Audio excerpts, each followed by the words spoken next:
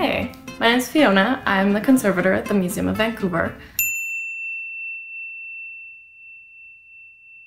Um, I spend a lot of time cleaning historical objects, so it happens that people often ask me for advice on cleaning. You're at home, I'm at home, so I've decided to make this video uh, to let you know what you're getting into when you ask a conservator for advice on cleaning. Uh, so today we're gonna clean this crusty pot and this crusty teapot that I forgot on the burners. I should say right off the bat uh, that normally when people ask me for advice on how to clean something, it is because it is a super stubborn stain or grime that needs to be aggressively cleaned. I've been trained to clean things very, very gently in order to not damage valuable objects. So if I had my ideal world, I would spend three weeks on this puppy. But we only got a few minutes. Uh, so when we clean in conservation, we take into account three things. First of all, the physical properties of the object and of the dirt, the chemical properties of the object and of the dirt, and time and temperature. Uh, okay, so physical things. Um, an initial impulse when cleaning crusty pots is to use steel wool. You probably shouldn't, and here's why. The Mohs hardness scale. This scale is based on the idea that if you rub two different materials together, the harder one comes out just fine and goes higher on the scale, and the softer one ends up scratched and goes lower on the scale. With steel wool, you're in essence performing a Mohs test and gambling on the surface of your pot. Different compositions of steel have different hardnesses, so even if you have a cast iron pan, depending on how it was annealed or the amount of carbon it has, it could still come out softer than steel wool. The point is that nothing survives steel wool. In museums, uh, when we're getting rust off of iron objects, I like to use a copper brush, as it's definitely softer than the iron and it's harder than the rust, so you can clean without any hardness worries. But I don't think we should use copper this time, as this guy is made out of aluminum. So this takes us to another approach, uh, using the chemical properties of the situation. It's important to know the composition of your dirt. Not to judge your cooking, but most of the crusts on cooking pans are going to be primarily fat and protein based. Maybe some starch. And a lot of these things aren't immediately water soluble. So, here's my pitch for dish detergent.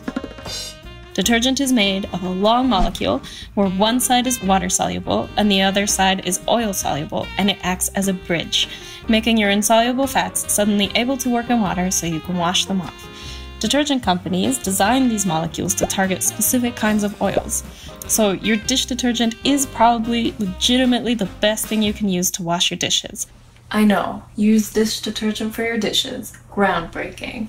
In my museum practice, I would 100% not use dish detergent because it isn't pH neutral. I won't get too much into pH. One thing that I will say is that acidity and alkalinity can make your cleaning go faster in this case.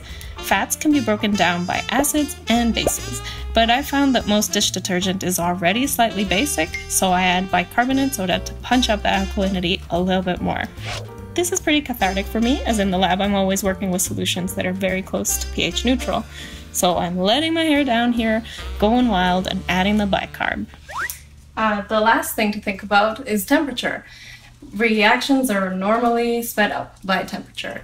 Uh, what that means in museums is that we have to be extremely careful about temperature and use it in a very controlled way. Uh, but here, again, I get to let loose and just heat this guy up so I can get my pots clean.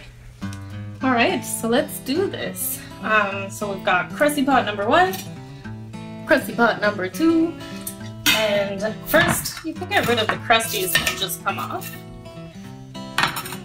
So I've got some water boiling, Got some water in here. Pour it onto crusty pots. So you will need detergent and bicarb. And I've got two hardness of sponge because I know that these don't scratch my pots. But you know your pots best. Um, so I'm adding some detergent in here, adding some detergent in here, Got some bicarb going. Got some bicarb going in here. And then we crank the heat. Basically, that's it. You just let it boil for a good long while, and eventually you will sponge.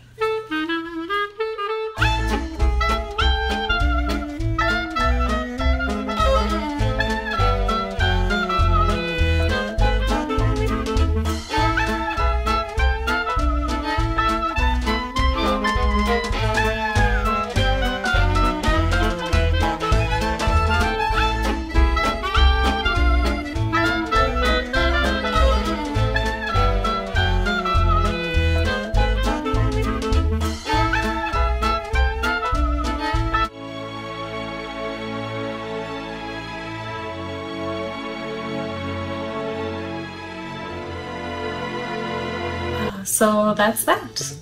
Good as new. Well, good as 100 year old thing that we inherited from my partner's step grandmother, but it's ready for more cooking. So, did I just spend the last five minutes telling you to wash your dishes with dish detergent and bicarb? Yes.